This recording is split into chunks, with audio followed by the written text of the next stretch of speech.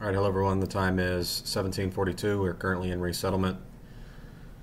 Um, I wanted to explain two ICT terms or trading terms generally, if you're not familiar with them, and that's going to be turtle soup pattern and uh, liquidity pools. So let's get right into it.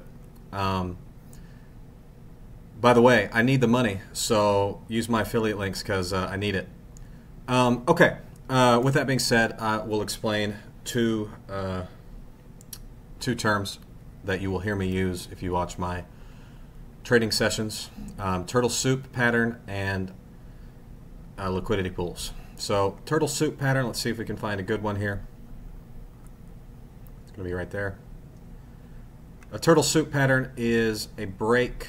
Uh, it's basically a sweep. If you hear me say the term sweep versus a run, a sweep of a high is where it just pokes above a high and then comes back down could be a low as well. I usually see things to the short side. That's probably a mistake, but I see things more on the short side for whatever reason. Um, it's basically just a, a small sweep above a high and then a drive lower. So it ties right in with your liquidity pool concept. There are resting orders from market makers and from market participants that rest above every high and every low, no matter how short term, whether it's a one minute high, five minute high, it's all scalable, doesn't matter above every single one of these swing points. So was there a liquidity pool here? Yeah, there was.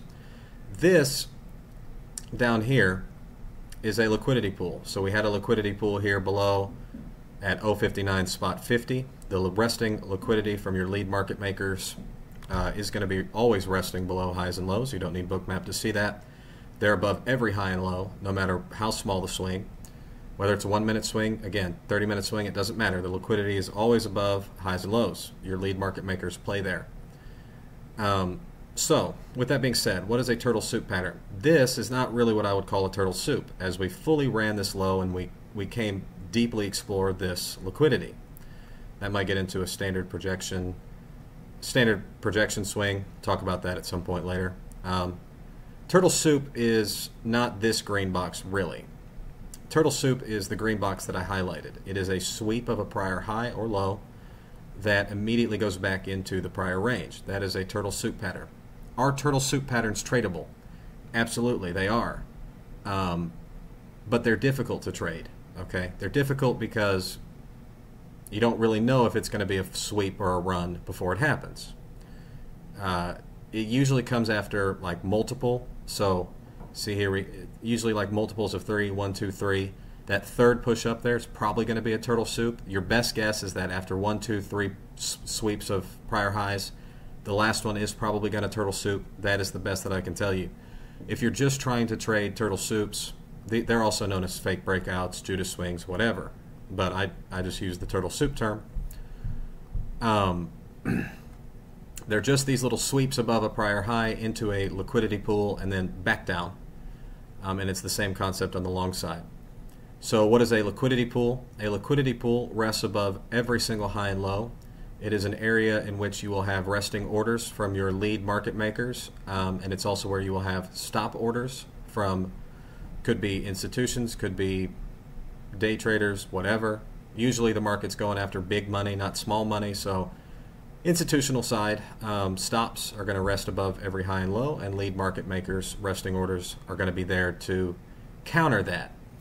As you can see, in a low volatility environment, oftentimes you are going to see these like turtle soup patterns. Um, when the market is not super volatile, you're going to get these pushes into into liquidity pools that fairly quickly reject. So if you hear me use the term, is this going to turtle soup? Is this going to turtle soup?